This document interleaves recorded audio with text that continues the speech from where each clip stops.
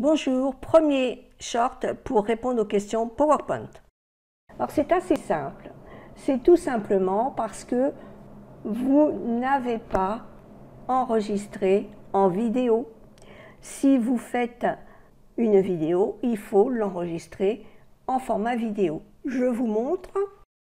Maintenant, pour enregistrer votre PowerPoint en vidéo et le retrouver en vidéo, eh bien, il ne faut pas aller dans Enregistrer sous, parcourir, bureau par exemple, et mettre euh, Short 1.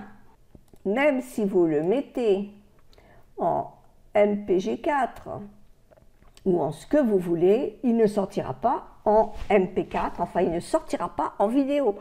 Toutes les possibilités qu'il y a ici, ça vous redonnera votre PowerPoint tel que vous l'aurez enregistré, mais certainement pas en MP4.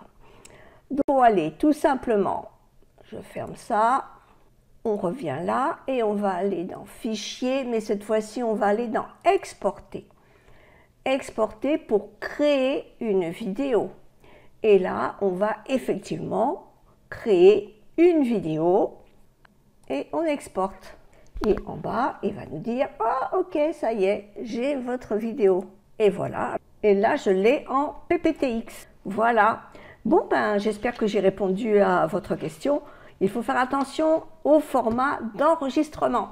On se retrouve dans le prochain short. À très vite.